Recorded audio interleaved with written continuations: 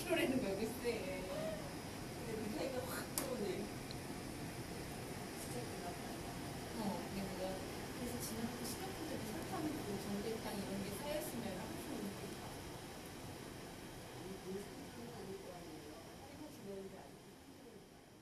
선생님이 지금 약간 돌아, 선생님 몸이 약간 풀어졌어요? 내가 옆에다가 보니까? 내가 여기가 돌아가는 좀 느낌이 원래 좀 삐그러졌어.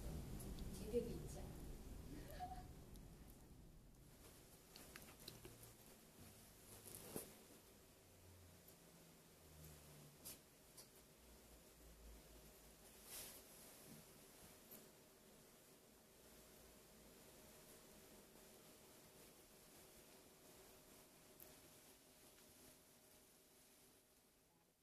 시에서가 가지고 있는 독창성은 유다교 신앙의 전통을 잘 보존하면서도 당대 즉 알렉산드리아에 그 만연하고 있었던 헬레니즘 문화권의 여러 가지 철학이라든지 문화라든지 이와 같은 것들에 대해서 깊은 인식을 가지고서 그 개념이나 용어들을 또 수사 기법들을 굉장히 자유롭게 활용해서 자신들의 것들을 표현해냈다는 점입니다.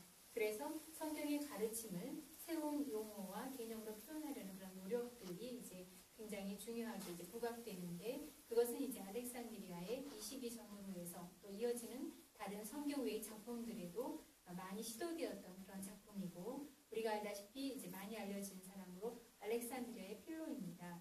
예, 그의 작품은 예, 이와 같은 시도들이 가장 고도로 발전되고 절정에 이르렀던